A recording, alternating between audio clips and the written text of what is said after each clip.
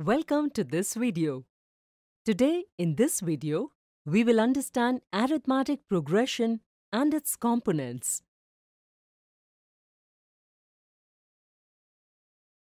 Look at this picture. Can you see any pattern here? Many objects in nature around us follow a certain pattern. We can see several patterns around us or at home.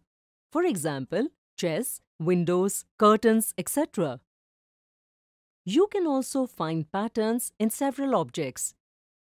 Geometrical shapes, sounds,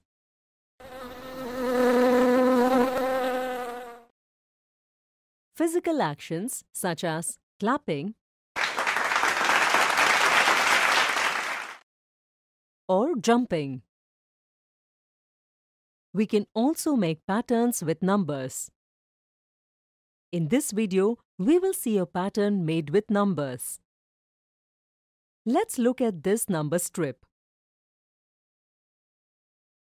It has some blank spaces. Can you fill in the correct digits? If you notice, then you will see that every succeeding term is obtained by adding 3 to its preceding term.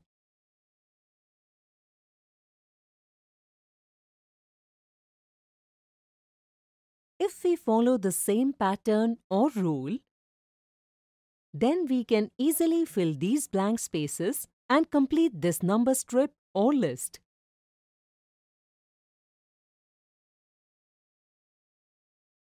Let us see this number list. Do you see any pattern here? Yes. Here, the next number is obtained by adding negative 5 to the previous number. We can also fill the empty spaces in this list by following the same pattern or rule. What can you tell by looking at these two patterns? We see that each term in this list except the first term is derived by adding a certain number, which is 3 here, to the previous term.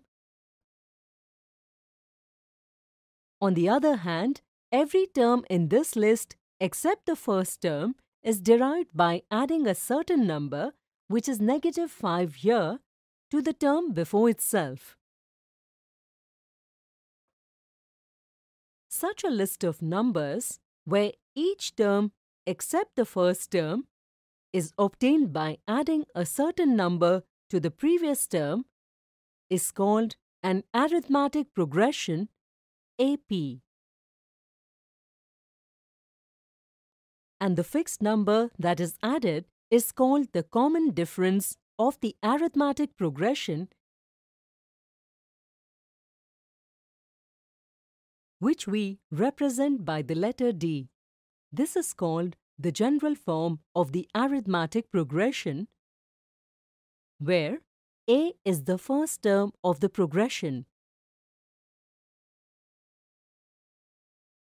Will the common difference of an AP always be positive?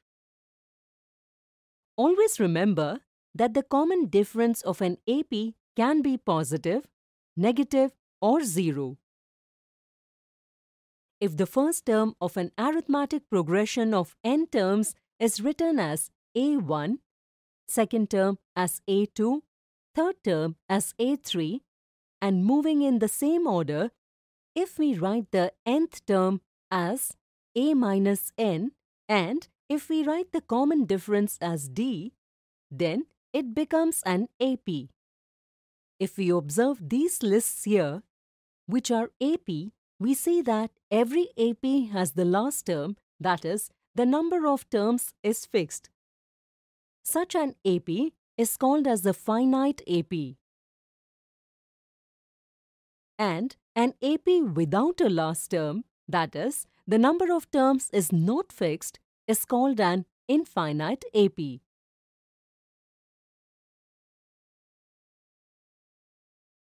Today in this video, we learned about arithmetic progression and its components. In the next video, we will see some examples based on this.